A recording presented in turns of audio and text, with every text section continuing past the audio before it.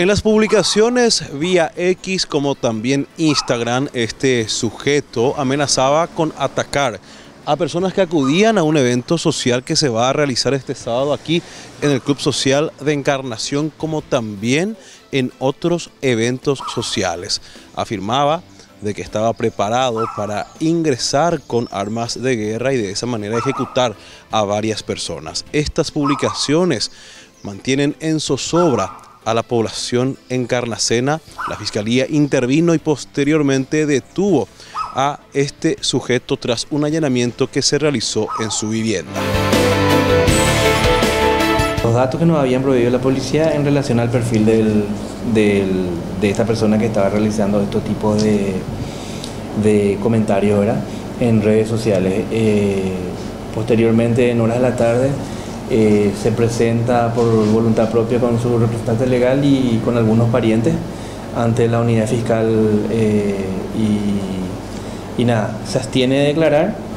Eh, nosotros procedemos a allanar el domicilio de esta persona ya con el informe de, o avance investigativo de que efectivamente el IP con el que estaba realizando esos, esos comentarios en redes eh, daban cuenta que la geolocalización era en el domicilio del, usuario.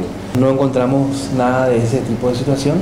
También procedimos posteriormente a imputar a esta persona por el hecho punible de amenaza de comisión de hecho punible.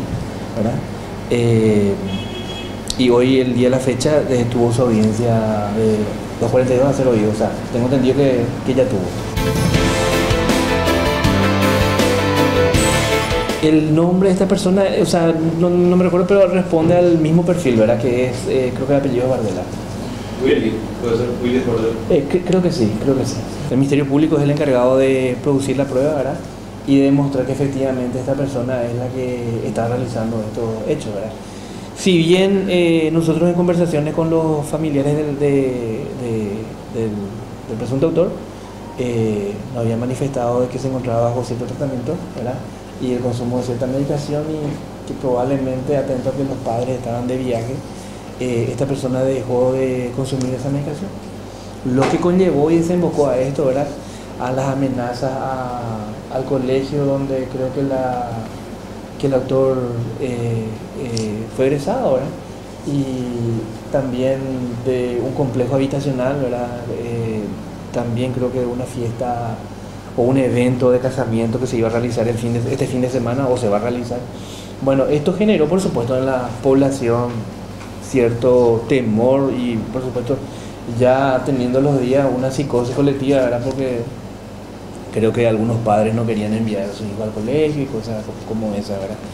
Si bien en un momento dado este sujeto manifestó que se le había hackeado las cuentas, se comprobó tras una investigación que las publicaciones se realizaron desde su vivienda que fue allanada por la Fiscalía.